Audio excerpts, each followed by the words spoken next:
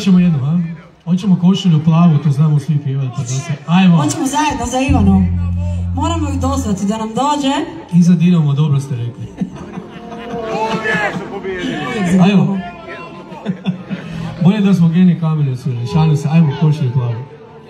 Sve znamo, može i to.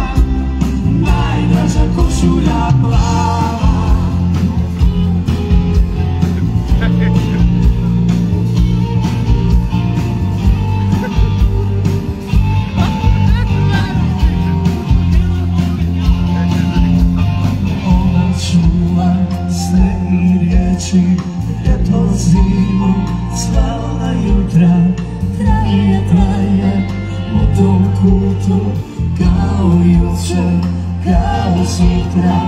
Ponekad dugo, dugo je ljubim Ponekad čvrsto, čvrsto je stisne. Mjesto tebe, umjesto tebe Ponekad samo vi ste,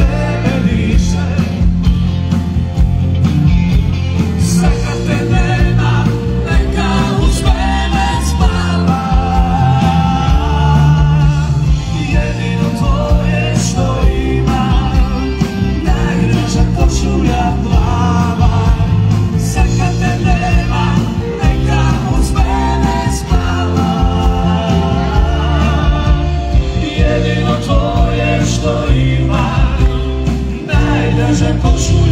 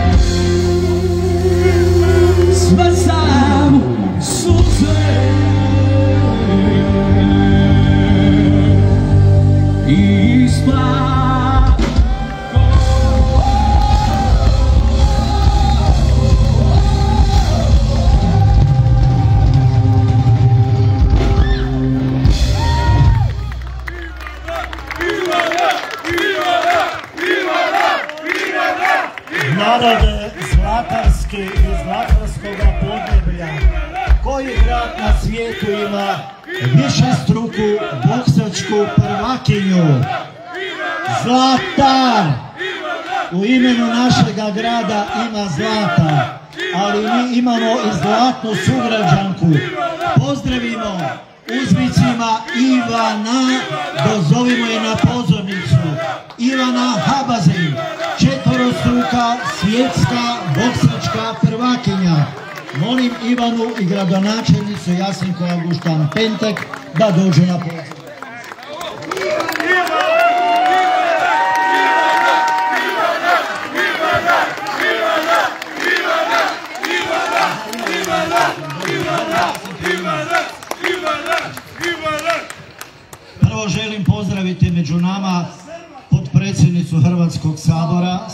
Glasovac. Dobrodošla u Zlatar. Donje gradonačelnica Omišlja Mirela Ahmetović. Načelnik grada koji nas hrani mesom grada Vrbovca, dobrodošli. Gradonačelnik i načelnik prelijepih lokvi. Dobro došli u Zlatar, osjećajte se kao kod kuće. Ajmo pozdraviti Ivanu. Bravo! Bravo! Bravo! Bravo! Bravo!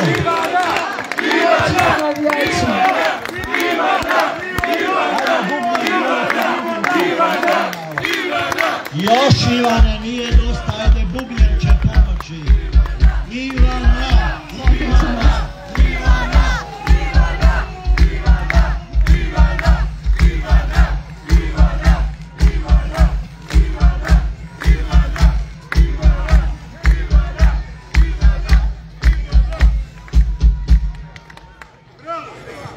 Ivana, kako se osjećaš u rodnome kraju?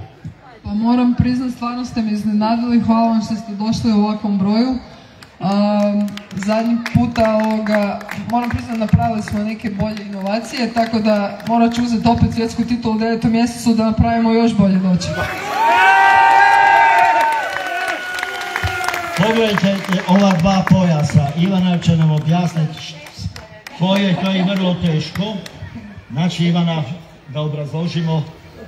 Pa evo ovoga, zeleni to je VBC pojas, crni je VBA pojas, a, BBC je najprestižnija organizacija, VBA je najstarija boksačka organizacija, tako da ovoga, uz IBF i IBO koji već imam, ima još jedan, to je VBO.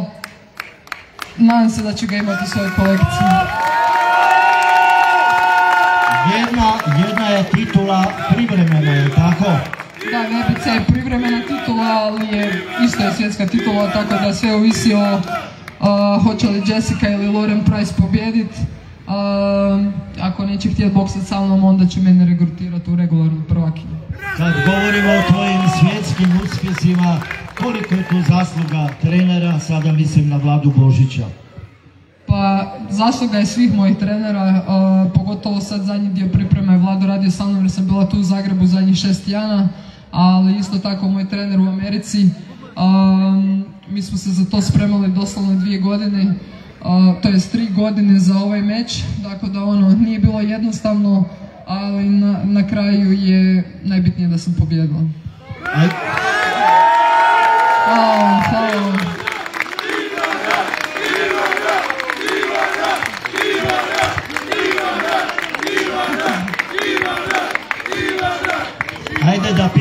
Ivanu, dobro si, dobro si namlatila u King Mađaricu.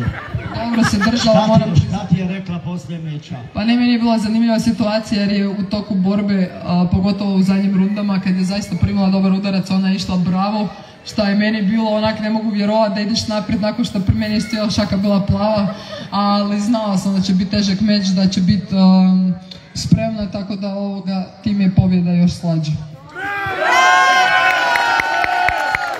Sada kreće novi ciklus priprema za meč u rujnu, ako se ne varam, vjerojatno u Londonu. Pa da, već će biti uh, u Engleskoj, vjerojatno u Londonu, početak uh, devetog mjeseca. Uzet ću još tjedan dana odmora i to je to, onda se fokusirati na pripreme i nadam se da ću pobijediti to. Da jo mi sredimo, jel? Malo neugodno pitanje, što znači svjetska velika boksačica u jednoj maloj sredini kao kao Hrvatska? Zašto se to mene pita? To treba pitati. Koliko uživaš, kakav status imaš kao vrhunska svjetska sportašica? Di? Ovdje u Hrvatskoj. Pa nemam ga, nažalost. Ali eto, imam status kod malih ljudi, kod normalnih, običnih ljudi, tako da hvala. Dobro, nećemo sad reći da ne uvrijedim Jasinku, jer ti ipak spadaš u institucije, ali evo, svaki puta kad je meni trebala neka podrška i grad i županija su zaista izašli u susret maksimalno koliko su mogu, mogli, tako da hvala vam. Ajmo sad bravo za Jasinku! Mi koji baš ne pratimo temeljito boks, ostali smo iznenađeni vrlo neugodno kad smo na malom ekranu čuli da si sama morala organizirati i financirati ovaj meč. Pa da, ovoga, stvarno, to je sad dugačka priča da se to može objasniti, ali stvar je o tome da u Hrvatskoj nema promotora, nema televizije kao što je to u velikim zemljama i ti ako želiš boksa za svjetsku titulu moraš to napraviti sam jer najjače zemlje su Engleska i Amerika, a oni neće potpisati nikog ko nije Amerikanka ili Engleskinja, jel? Možeš im biti jedino protivnica. Kad se ova šansa desila za titulu, nije bilo izbora, morali smo to napraviti. Iako je na početku od nekih većih sponzora meni bilo obećano da će taj iznos biti dobar, to je zatvoren, nije bio sve do zadnjeg tjedna meča, ali stvar je o tome da, ne znam, vlada, veće institucije, zaista najveće firme koje su i, državne firme, tu niko nije odgovorio pozitivno na, na zalmobe, tako da na kraju ili možeš sve odustati, prestati boksati ili posudiš pare, tako da ono, eto, srećom imala sam od koga, pobrinut će se Bog da se to vrati. Tvoj pogled u boksačku, tvoju budućnost i sportsku karijeru, Pardon, slušala sam ljude, pa nisam tvoj pogled u sportsku budućnost. Ovoga, nema se tu previše, idući meč također je sve ili ništa, eto ako pobjedim onda imam i novi meč, ako izgubim onda je moja priča nažalost završena, ali nadam se, nadam se da, da, da će Najbitniji dio je odraditi dobre pripreme, za to treba logistika. Ja nadam se da će se otvoriti vrata, da mogu to odraditi savršeno i onda znam da imam šanse da pobjedim. Hoće li Ivana pobijediti u idućem meču? Hoćemo ju ponovno dočekati u Zlataru. Neka samo studione, zlata riba šampione, Hvala.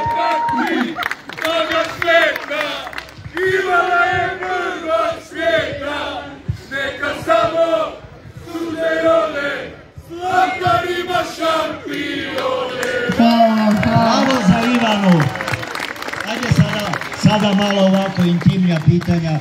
Koliko Ivana često stigneš dolaziti u Zlatar? To je sad trik pitanje. Ne, pos- tako je, poslije meča i prije, a, kad dođem, prije završetka priprema, jer onda još imam vremena da skinem kile, a svi znaju da se kod moje bake dobro jede, tako da ovoga, ne smijem prečesto, ali poslije meča sam često. A šta izdvajamo iz bakine kuhinje? Joj, a, pohana piletina, mlinci i svinjetina, naravno. A čaša vina nakon toga? To nije za mene. Čime se krijepiš? Coca-Cola. Koliko, koliko imaš prijateljica u Zlataru? Ti si ipak bila učenica ove škole preko puta. Pa imam dosta puno prijatelja, prijateljica, ali još više poznanika, tako da ovoga...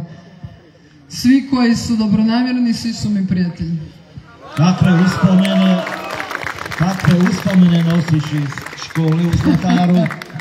A, preskočit ću ovo pitanje. Jesi li bila ratoborna? Nikad. A ko ti je bio razrednik? Stjepan Škrlec. A je li Škrlec među nama? Je. Onda čestitke i njemu. Di je Ko je razrednik? prvak svijeta? Glasno.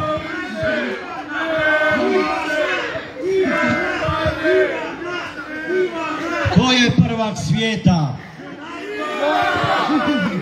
Glasnije. Još. Još jače. Kako ti je Ivana pri srcu? A, pa evo, ne, moram priznati da sam iznenađena i da mi je veoma drago da sam tu i da ste došli u takvom broju i ne...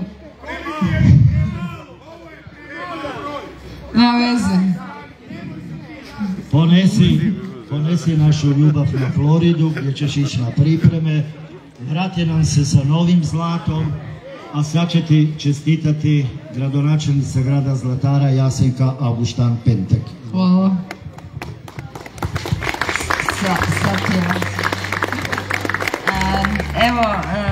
Dragi moji sugrađanke i sugrađani, svi gosti koji ste ovdje došli, hvala vam što ste danas e, došli čestitati Ivanoj ono što ona radi, a promovira sigurno naš grad. E, Ispalo je jako dobro da je meč bio tjedan dana prije proslave našeg dana grada i sad malo prije smo o tome razgovarale da 2018. također je bila na danu grada, trebalo je više godina, ali rekla je da za deveti mjesec priprema, da moramo i mi se pripremiti za još veći doček. Htjela bi prije nego čestitam njoj, svima vama čestitat naš dan grada Zlatara. Tako da Ivana i tebi čestitam dan grada Zlatara. Na meću na kojem sam bila meni je bilo jako napeto i stresno, ali drago mi je da, da si me pozvala. Drago mi je da je grad mogao ti financijski e, pomoći i e, željeli bi ti nešto uri- uručiti još u ime a, ne samo grada nego i svih građana grada Zlatara. Tako da za tebe je jedna, evo, Hvala, hvala. Ne ću se svi sad. Hvala.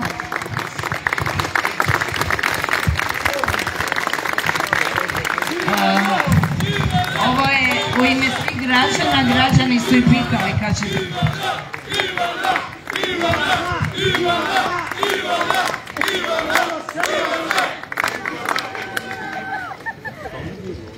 Draga Ivana, Inače, samo za informaciju, a, Ivana će se poslije spustiti a, do svih vas kada ovo završi službeni dio, tako da ćete ju moći uloviti za neka pitanja i fotografiranja. Samo bez je tvoja. Nemojte je puno pitati, samo ju fotografirajte, ostaće e, kod nas. Jer se baš i potrefilo da je htjela doći na koncert e, Klape Intrade i nikako nije uspijevala zbog svojih e, priprema mečeva van Hrvatske. Tako da danas, evo, ona će ostati ovdje i na koncertu, a i nadam se Samo da ćete svi vi uživati. Ne baš cijelom jer moram se ići pakirati. Evo, a, Ivana, hvala ti puno, dobrodošla u grad Zlatar i želimo ti puno uspjeha ja, ali i naravno svi građani grada Zlatara. Hvala puno, hvala na pozivu, hvala na podršci i sretan vam dan gradom. Hvala Ivani, bit će još s nama. Mi ćemo sada uživati u glazbi sjajnih glazbenika, nakon kojih ćemo na ovoj pozornici pozdraviti horoskopskog strelca sa najljepšim baritonom u zemlji, Tomislava Bralića i Klapu i Prade, koja je dalmatinski pjev pronijela širom svijeta. Jedan pljesak za ove sjajne glazbenike, molim vas.